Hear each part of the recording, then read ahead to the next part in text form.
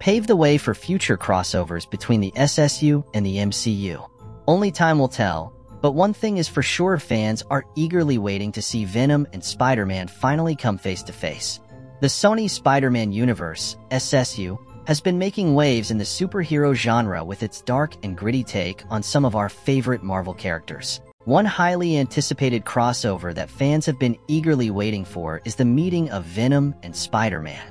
However, with the recent news of Venom's exit from the SSU, the potential for this epic showdown seems to be slipping away. If Sony decides to introduce Spider-Man to the SSU after Venom's exit, it would be a major letdown for fans who have been waiting for this crossover for years.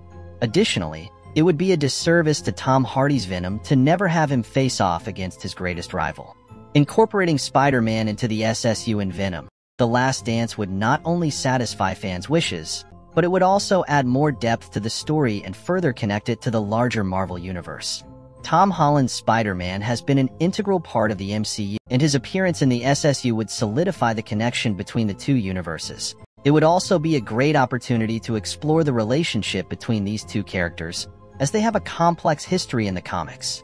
The potential for a Venom Spider-Man face-off has been teased for years, and it would be a shame to never see it come to fruition. The chemistry between Tom Hardy's Venom and Tom Holland's Spider-Man would undoubtedly be electric, and fans are eager to witness this clash of two iconic characters on the big screen. Not to mention, the dynamic between these two would add a new layer of complexity to the SSU and would make for an even more exciting storyline. Venom, The Last Dance could set up a future battle in the MCU. The recent post-credit scene in Spider-Man No Way Home revealed that a piece of the Venom symbiote was left behind in the MCU. This opens up the possibility for the two characters to eventually meet in the future. Venom, The Last Dance could lay the groundwork for this battle, potentially teasing it in a post-credit scene or setting up a future storyline. This would not only satisfy fans who have been waiting for this clash, but it would also be a smart move for Sony to capitalize on the popularity of both characters. Tom Hardy's portrayal of Venom has been well received by fans,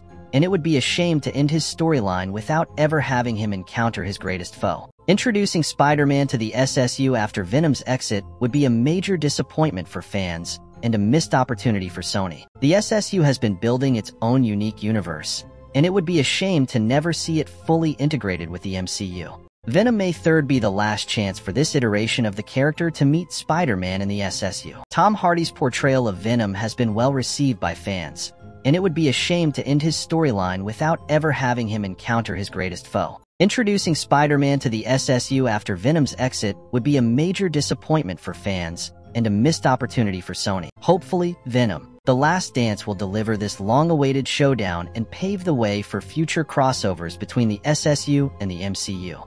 Only time will tell, but one thing is for sure fans are eagerly waiting to see Venom and Spider-Man finally come face to face.